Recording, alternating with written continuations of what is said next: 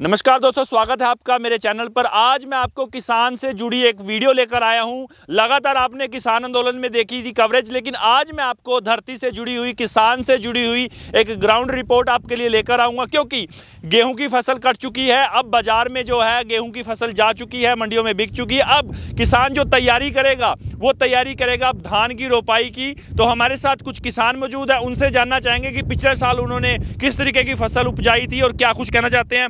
कौन सा बीज आपके लिए अच्छा रहेगा? कौन सा बीज आपको इस्तेमाल नहीं करना चाहिए? किसमें आपको फ़ायदा है? तो सारी बातें जानने के लिए हम पहुँचे हैं गाँव संखेड़ा जिला यमुनानगर में। तो हमारे साथ कुछ किसान भाई हैं। उनसे सबसे पहले तो आपका नाम जानना चाहूँगा। क्या नाम है जी आपका? जी राम नाम है मेरा। आपका क्या नाम है? जोरा सिंह। आपका जी? राजेश कुमार। तो सर मैं आपसे जानना चाहता हूँ कि आप जो खेतों में फ़सल जो उपजाते हैं किस तरीके से अब जैसे गेहूँ का सीज़न खत्म हो चुका है आगे धान की रोपाई का है तो क्या कुछ बताना चाहेंगे? क्या समस्याएँ आती हैं और किस तरीके से आप खेती करते हैं? धान की ऐसा है जी हमारा यहाँ लेबर की थोड़ी समस्या है।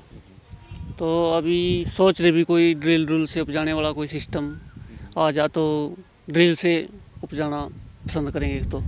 आप कौन सा मतलब कि जो धान की रोपाई के अंदर कौन सा बीज इस्तेमाल करते हैं?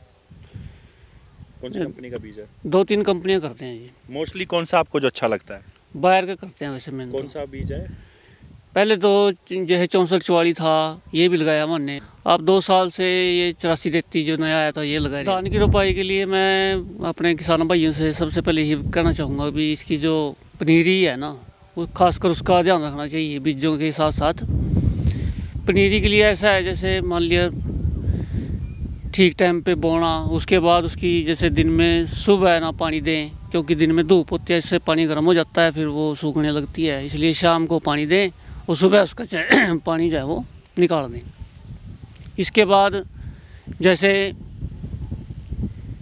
पनीरी तैयार हो जाती है तो उसे मान लिया पच्चीस से तीस दिन तक लगभग समय पर लगाने वाला है। उसके बाद हमारी जो समस्याएँ है, मान लिया तेले वगैरह की है, नहीं, जैसे बीजों में मान लिया, क्योंकि कुछ बीज तो ऐसे हैं जो सहन कर सकते हैं, बीमारियों को कम गिरते हैं। कुछ ऐसे हैं जो इन मच्छर मच्छर की वजह से तेले की वजह से गिरने लगते हैं।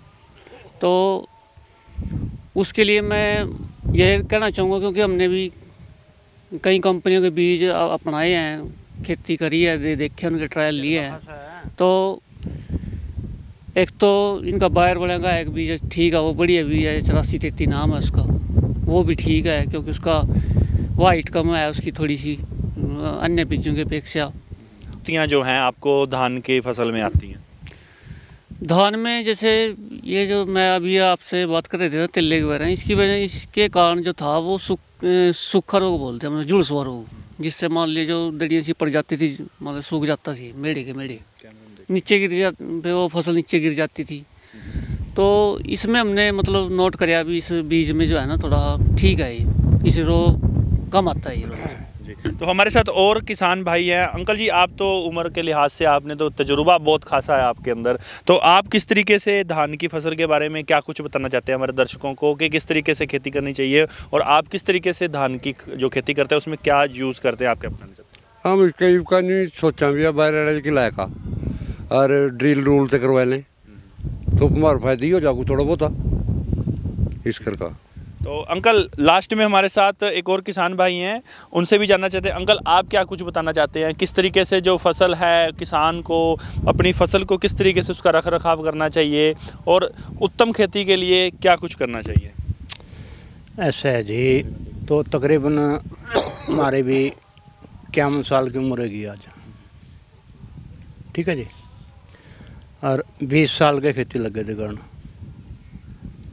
तो तकरीबन तजर्बे चल रहे